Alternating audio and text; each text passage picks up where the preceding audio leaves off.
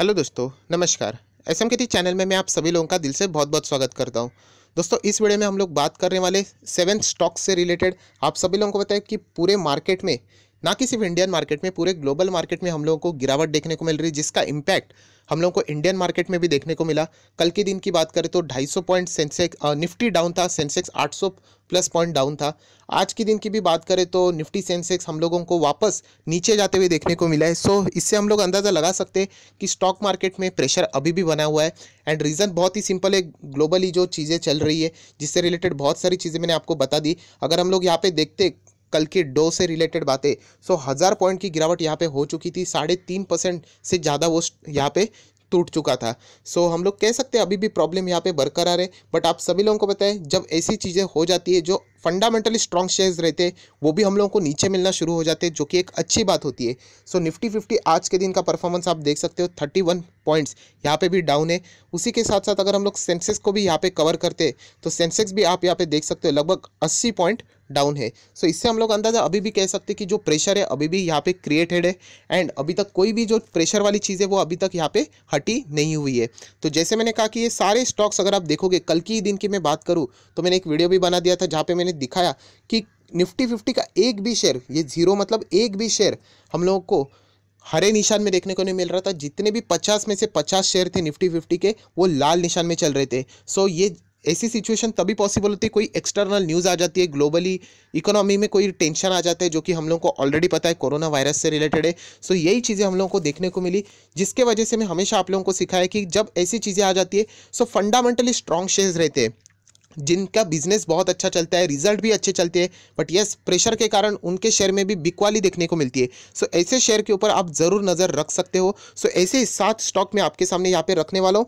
वापस कह रहा हूँ ये सात स्टॉक और भी नीचे जा सकते हैं। सो so, इसीलिए आप लोगों ने एक अलग से वॉच लिस्ट बनानी चाहिए। इनके ऊपर कड़ी नज़र रखनी चाहिए। ये कौन से सात स्टॉक है जो कि फंडामेंटली बहुत ही स्ट्रांग है। एंड फ्यूचर में जब ये सारे चीज़ें अगर क्लियर हो जाती है तो वापस वो अपने ओरिजिनल पोजीशन पे आने का पूरा दम ज़रूर रखते हैं। तो चलिए दोस्तों, यहाँ पे मैं शुरुआत कर लेता हूँ। सबसे पहले जो स्टॉक है, बहुत ही अच्छा है फंडामेंटली स्ट्रॉन्ग है। आप नाम इसका देख सकते हो बीएससी सेंसेक्स में भी आता है निफ्टी फिफ्टी में भी आता है एच टेक्नोलॉजीज़ आईटी सेक्टर से जुड़ा हुआ स्टॉक है।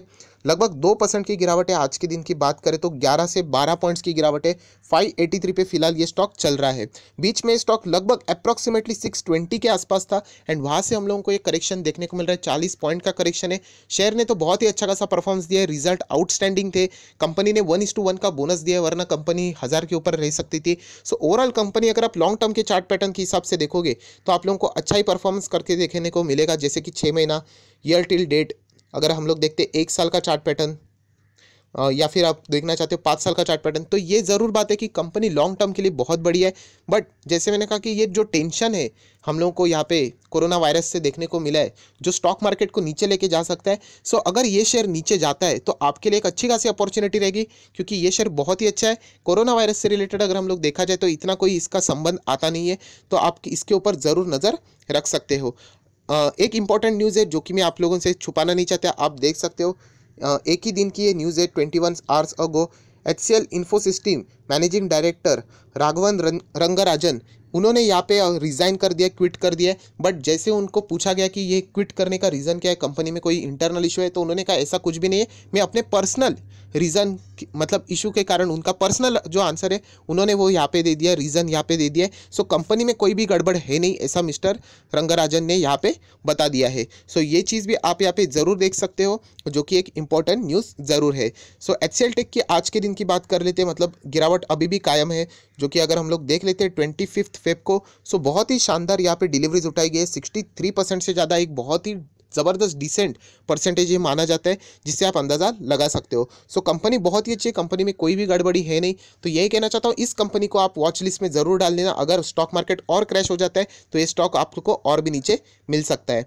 उसके बाद सेकेंड डीमार्ट यस दोस्तों एवेन्यू सुपरमार्ट आप सभी लोगों को है, इस स्टॉक से रिलेटेड हम लोगों ने हमारे जो जितना भी कैपिटल था, उसको मैंने कहा था, आप लोगों को, आप चाहते हो इसको तो पाँच हिस्सों में डिवाइड कर सकते हो, अगर आप चाहते हो तो इसको दो हिस्सों में डिवाइड कर सकते हो बट सबसे पहले जो हमारा इंस्टॉलमेंट था टू थ्री फाइव ज़ीरो जो कि बहुत ही क्लोज था two three five zero but इतना भी बुरा नहीं था, मैं आपको कैलकुलेट करके भी बताऊँगा। टू थ्री फाइव ज़ीरो जो आपके, आप यहाँ पे देख सकते हो क्लोजिंग दिए सो जिन भी लोगों ने किया होगा मतलब मैं तो खुद फॉलो करता हूँ, जो मैं आपके सामने रखता हूँ, आप चाहो तो फॉलो कर सकते हो या फिर अनफॉलो भी कर सकते हो, ऐसी कोई दिक्कत वाली बात नहीं है। So two three five zero पे यहाँ पे फ़र्स्ट इंस्टॉलमेंट लग चुका है। सो ये अच्छी बात है, अगर हम लोग डिमार्ट का जो हाई देखते, लगभग दो हज़ार पाँच सौ के ऊपर हम लोगों को हाई देखने को मिला। And two three five zero अगर हम लोग कैलकुलेट करें तो रफली हम लोगों को 8.32 परसेंट की एक गिरावट देखने को मिल रही है। मतलब जो हमारा इंस्टॉलमेंट लगा है फ़र्स्ट वो लगभग 8 परसेंट से भी ज़्यादा की गिरावट लगने के बाद लगा है जो कि मैं इसको एक अच्छी बात मानता हूँ। अभी हमारा लोग जो सेकेंड इंस्टॉलमेंट रहेगा उसके ऊपर हम लोग हम लोगों ने यहाँ पे फोकस रखना है। सो so, दोस्तों इसके बाद जो मेरा नेक्स्ट इंस्टॉलमेंट रहने वाला है वो लगभग टू टू फाइव ज़ीरो के ऊपर रहने वाला है। आप सभी लोगों को पता है जितना डीप जाएगा मैं वहाँ पे बाइंग करने वाला हूँ। टू टू फाइव ज़ीरो के बाद मैं एक बहुत ही क्लोज रख रहा हूँ टू टू ज़ीरो ज़ीरो। उसके बाद two one zero zero and आखिर में टू थाउज़ेंड सो ये मेरे लेवल से फ़र्स्ट लेवल आप सभी लोगों को मैंने बता दिया था टू थ्री फाइव ज़ीरो जो कि अचीव हो चुका है। अभी यहाँ पे हंड्रेड पॉइंट्स की अगर और गिरावट होती है तो बहुत ही अच्छी बात है। हम लोगों को ये शेयर और नीचे लेवल पे मिल जाएगा। वापस कह रहा हूँ स्टॉक अगर क्रैश होता है तो उससे डरने की ज़रूरत नहीं है। बहुत सारे रिटेल निवेशक डर जाते हैं। मैं वापस कह रहा हूँ कंपनी में इंटरनल कोई इशू नहीं है। आपको ऐसे ही स्टॉक नीचे मिल जाएगा। सो उसका फ़ायदा उठाना आप लोगों को आना चाहिए। ये सारी स्ट्रैटेजी मैंने आपके सामने यहाँ पे रख दी है। सो अगर आप यहाँ पे कैलकुलेट भी करोगे, मैं आपको बताना चाहता हूँ कि कितना एवरेज प्राइस आ जाता है। सो so फ्रेंड्स जितने भी लेवल्स मैंने आपके सामने यहाँ पे रख दिए उसका एवरेज प्राइस हम लोग कह सकते हैं टू वन एट ज़ीरो यहाँ पे हम लोगों को देखने को मिलेगा जो कि एक मुझे बहुत ही शानदार लेवल रख रहा है। ये चीज़ मैं फॉलो कर रहा हूँ आप चाहो तो इसको फॉलो कर सकते हो या फिर अनफॉलो भी कर सकते हो। सो so, वापस कह रहा हूँ डरने की कोई ज़रूरत नहीं है बहुत ही अच्छी बात है अगर स्टॉक मार्केट में गिरावट आती है एंड डीमार्ट जैसा फंडामेंटली स्ट्रॉन्ग शेयर जहाँ पे आप सभी लोगों को पता है टू थ्री वन सिक्स पे जो इंस्टीट्यूशनल्स थे उन्होंने कितनी ज़बरदस्त ओएफएस में वहाँ पे ओवर सब्सक्राइब कर दिया था। सो so, ज़रूर कहना चाहता हूँ ये स्टॉक लॉन्ग टर्म के लिए ज़रूर रहेगा अच्छा खासा रिटर्न आपको ज़रूर दे पाएगा। सो ट्वेंटी फिफ्थ फेब आज के दिन का भी परफॉर्मेंस देख लेते हैं। फोर्टी एट परसेंट से ज़्यादा यहाँ पे हम लोगों को अच्छे खासे डिलीवरीज उठाई दे जाते हुए देखने को मिल रही है। सो so, ये चीज़ भी आप लोग ज़रूर कंसिडर कर सकते हो। सो so, दोस्तों दो स्टॉक देखने के बाद तीसरा स्टॉक आपके सामने ओपन करते हैं जिसका नाम रिलायंस इंडस्ट्री है। यस रिलायंस इंडस्ट्री में हम लोगों को गिरावट देखने को मिल सकती है और भी ये गिरावट हो सकती है। सो so, इस स्टॉक के ऊपर आप लोगों ने ज़रूर नज़र रखनी है।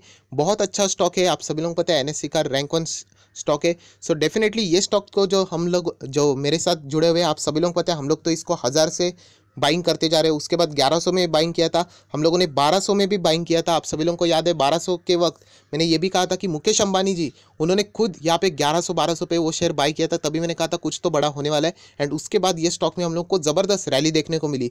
सो अभी टेंशन की बात है नहीं, बहुत ही अच्छा स्टॉक है। लॉन्ग टर्म के लिए आप लोगों को होल्ड करना है। बहुत सारे लोगों ने इसमें हाई लेवल पर भी बाइंग किए। मैं उनको यही कहना चाहूँगा, आप लोगों ने एग्जिट होने की कोई ज़रूरत नहीं है। लॉन्ग टर्म के हिसाब से आप लोगों ने इस स्टॉक को ज़रूर छोड़ देना चाहिए।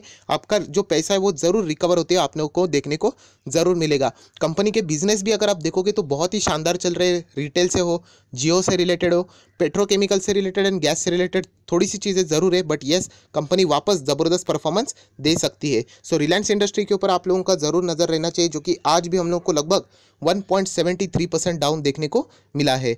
सो ओवरऑल स्टॉक बहुत ही अच्छा है लॉन्ग टर्म के लिए मैं अभी भी कहना चाहता हूँ कि ऐसा पैनिक होने की ज़रूरत है नहीं, ये सारे स्टॉक बहुत ही अच्छे जो कि आप लोगों को अभी सस्ते दाम में देखने को मिल रहे हैं। सिक्सटी आप देख सकते हो, यहाँ पे सिक्सटी से ज़्यादा लोगों ने डिलीवरीज उठाई गई है। जो कि एक बहुत ही शानदार डेटा है। सो रिलायंस इंडस्ट्री के ऊपर भी आप नज़र रख सकते हो, जो कि एक फंडामेंटली बहुत ही अच्छा स्टॉक है।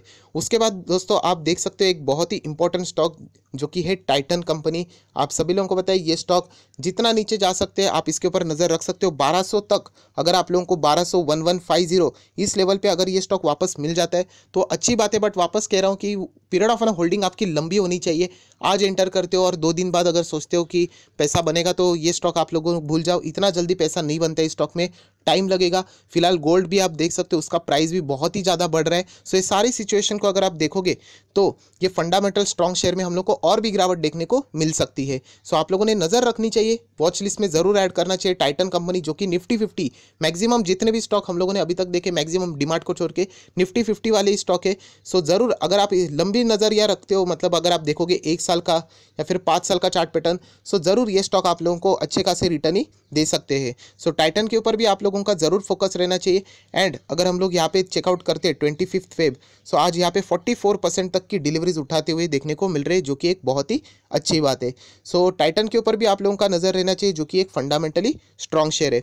उसके बाद अगर हम लोग देखते हैं तो एक बहुत ही ज़बरदस्त शेयर है जिसका नाम है H D F C M C so ये स्टॉक भी आप सभी लोगों को पता है हम लोगों ने यहाँ पे फ़िलहाल अट्ठाईस सौ पे बहुत ही अच्छी खासी यहाँ पे एंट्री की थी। सो अट्ठाईस के बाद अभी भी ये 400 पॉइंट्स हमारे बाइंग प्राइस से अभी चल रहा है। अच्छे खासे अभी भी हम लोग यहाँ पे प्रॉफिट में ही बैठे हुए। बट स्टिल मुझे ऐसा लगता है ये स्टॉक अगर आपको नीचे वापस मिल जाता है, क्योंकि मार्केट में प्रेशर आ गया तो कोई भी स्टॉक बचने वाला नहीं है, वो सारे स्टॉक में बिकवाली करके ही जाएगा। सो अगर ये स्टॉक आपको तीन हज़ार या फिर दो हज़ार आठ सौ में वापस मिल जाता है तो मुझे ऐसा लगता है कि आप इसको ज़रूर एक बार कंसिडर कर सकते हो। सो वापस कह रहा हूँ, इस स्टॉक को भी आप लोगों ने बहुत ही ज़्यादा अपने वॉच लिस्ट में टॉप पे ज़रूर रखना चाहिए, जो कि मुझे लॉन्ग टर्म के हिसाब से बहुत ही ज़बरदस्त स्टॉक लगता है। आप सभी लोगों पता है, ये स्टॉक में ऐसे तो गिरावट होनी नहीं चाहिए थी बट येस प्रमोटर्स की जो होल्डिंग रहती है या फिर जो उसके रूल्स रहते हैं ओएफएस के द्वारा इनके शेयर्स भी बेचे गए थे, उसके कारण हम लोगों को तीन हज़ार आठ सौ पे चलने वाला शेयर हम लोगों को लगभग दो हज़ार आठ सौ पे देखने को मिला था। सो वहाँ पर भी एक अच्छी अपॉर्चुनिटी थी जो कि हम लोगों ने वहाँ पर लपक ली। एक्जैक्टली हम लोगों को वो स्टॉक दो हज़ार आठ सौ पे भी मिला। ऐसा नहीं है कि दो हज़ार आठ सौ पे ही वो रुका था, उसके बाद वो दो हज़ार सात सौ तक भी उतना नीचे जा चुका था बट येस बाइंग प्राइस अच्छी थी, जो कि आप लोग कह सकते हो कि लॉन्ग टर्म के लिए बहुत ही अच्छा स्टॉक है। So H D F C M में भी आप लोगों ने यहाँ पे बने रहना चाहिए। ट्वेंटी फिफ्थ फेब की बात करें तो आप देख सकते हो, यहाँ पे लगभग पचास परसेंट के आसपास डिलीवरी उठाई जा रही है। जितने भी अच्छे स्टॉक है, आप लोगों को ये डिलीवरी वाला डेटा है, वो बहुत ही अच्छा खासा देखने को मिल सकता है। कंपनी के फाइनेंशियल्स भी बहुत ही अच्छे खासे थे, जो कि हम लोग कंसिडर कर सकते हैं। उसके बाद हम लोग देख सकते हैं निफ्टी फिफ्टी से जुड़ा हुआ और एक स्टॉक जो कि ऑटो सेक्टर से जुड़ा हुआ है। बहुत सारे लोग क्वेश्चन पूछते हैं, क्या हीरो मोटो को सिलेक्ट करना चाहिए? तो मुझे ऐसा लगता है हीरो मोटो का भी खराब नहीं है बट मेरा प्रेफरेंस हमेशा बजाज ऑटो का रहेगा, क्योंकि बजाज ऑटो ने ऑटो सेक्टर में दिक्कतें दिक्कतें थी। तभी भी इन्होंने लगभग 20 परसेंट के पॉजिटिव रिटर्न्स दिए थे। सो इतने खराब सिचुएशन में अगर कंपनी 20 परसेंट मैनेज कर सकती है सो आगे फ्यूचर में ये कंपनी और भी अच्छे खासे रिटर्न ज़रूर दे सकती है। सो फ़िलहाल अगर आप यहाँ पे देखोगे तो आज भी हम लोगों को 25 पॉइंट की यहाँ पे गिरावट देखने को मिली एंड बजाज ऑटो में ये गिरावट और भी बढ़ सकती है। सो आप लोगों ने बजाज ऑटो के ऊपर भी बहुत ही कड़ी नज़र ज़रूर रखनी चाहिए। अगर बजाज ऑटो की बात करें तो आप यहाँ पे देख सकते हैं रिसेंटली प्रोजेक्ट की अगर हम लोग बात करें तो यहाँ पे Bajaj auto to develop low cost electric scooter for a startup तो यही कहना चाहता हूँ कि बजाज ऑटो भी यहाँ पे इनोवेटिव चीज़, उनको भी पता है, आगे जाके इलेक्ट्रिक व्हीकल को बहुत ज़्यादा बढ़ावा देने वाला है। एंड वहाँ पे भी अगर आप देखोगे लो कॉस्ट में यहाँ पे इलेक्ट्रिक स्कूटर लाने की उनका प्लान यहाँ पे तैयार है। सो ये बहुत ही अच्छी बात है इनोवेटिव चीज़ें हैं जो कि हम लोगों को फ्यूचर में देखने को मिल सकता है। जब ऑटो सेक्टर पूरे इन चीज़ों से बाहर आ सकती है, तब। सो बजाज ऑटो का आज का दिन का परफॉर्मेंस आप कंसिडर कर सकते हो थर्टी सिक्स परसेंट यहाँ पे बाइंग हो चुकी है। सो so, ओवरऑल यही कहना चाहूँगा ये लॉन्ग टर्म के लिए बहुत ही अच्छा स्टॉक है ऑटो सेक्टर से जुड़ा हुआ है जो कि निफ्टी फिफ्टी में भी ज़रूर आता है। उसी के साथ साथ जो आखिरी स्टॉक है बाटा इंडिया। सो बाटा इंडिया के भी ऊपर आप नज़र रख सकते हो। बहुत ही अच्छा खासा स्टॉक है, जो इसने ऑल टाइम अपना हाई लगाया था। वहाँ से डेढ़ सौ पॉइंट लगभग करेक्ट हो चुका है। सो आप समझ सकते हो कि जो कंपनी आप यहाँ पे देख सकते हो कि इंटायर मार्केट में प्रेशर के कारण डेढ़ सौ पॉइंट टूट चुकी है। सो ऐसे कंपनी के शेयर अगर आपको नीचे मिल जाते तो ज़रूर आप लोगों ने उनके ऊपर नज़र रखनी चाहिए। एंड बहुत ही अच्छे लेवल पे इन सारे शेयर को आप लोगों ने पिक करना चाहिए। सो बाटा इंडिया भी बहुत ही अच्छा स्टॉक है लॉन्ग टर्म के लिए बहुत ही बढ़िया स्टॉक है जो कि मेरे पोर्टफोलियो में एंड फ़िलहाल तो मैं इस स्टॉक को होल्ड ही रखने वाला हूँ। आज के दिन के परफॉर्मेंस की बात करें तो थोड़ा सा यहाँ पे मैं रिफ्रेश कर लेता हूँ तो प्रेजेंट जो करंट डेटा है वो आपके सामने यहाँ पे आ जाएगा। सो अगर हम लोग देखते थर्टी एट परसेंट तक की यहाँ पे बाइंग हम लोगों को बाटा इंडिया में भी देखने को मिल रही है। सो so, दोस्तों ओवरऑल यही कहना चाहूँगा ये सारे के सारे सात स्टॉक जो मैंने आपको बताए ये फंडामेंटली स्ट्रॉन्ग शेयर है। एंड यही कहना चाहता हूँ, इन कंपनी में अगर हम लोग देखते हैं तो एज सच जो हम लोगों को ग्लोबली जो प्रेशर है, उसके वजह से ये स्टॉक अगर और नीचे आ जाते हैं तो आप लोगों को अच्छा खासा ज़रूर मौका मिल जाएगा इसमें एंटर करने का। अगर ये स्टॉक और 50 पॉइंट 100 पॉइंट्स गिर जाते हैं एंड बहुत ही एक अच्छी खासी अपॉर्चुनिटी क्रिएट हो जाती है तो ज़रूर आप यहाँ पे इन स्टॉक्स में एंटर कर सकते हो। बट वापस कह रहा हूँ, ये जो चीज़ रहती है, निवेशक की मैं बात कर रहा हूँ, वो कम से कम तीन से पाँच साल मतलब लॉन्ग टर्म की होनी चाहिए, तभी आप लोगों को फ़ायदा हो सकता है। क्योंकि ऐसे पहले भी, इससे पहले भी मार्केट बहुत बार ऐसा गिर चुका था। हम लोगों ने बहुत ही नीचे लेवल पर बाइंग की है तो आज भी हम लोग, पूरा मार्केट तो गिर रहा है बट आज भी हमारे पोर्टफोलियो यहाँ पे हरे निशान में ही देखने को मिल रहे हैं। सो ये सारे के सारे स्टॉक वापस में कह रहा हूँ, आप लोगों ने ज़रूर वॉच लिस्ट में लगानी चाहिए एंड अगर गिरावट का मौका गिरावट हो जाती है तो उसका मौका का फ़ायदा उठा के आप लोगों ने इसमें निवेश ज़रूर करना चाहिए। बट जैसे मैंने कहा, ये सारी चीज़ें मैंने अपने पॉइंट ऑफ़ व्यू से की है तो आप लोगों ने भी अपनी स्टडी ज़रूर करनी चाहिए एंड उसके बाद डिसीज़न लेना चाहिए कि कौन सा स्टॉक आप लोगों ने कब बाय करना चाहिए। सो आई होप आशा करता हूँ दोस्तों, ये वीडियो आपको अच्छा लगा होगा। So that's it thank you very much we will be meeting our next video तब तक के लिए बाय बाय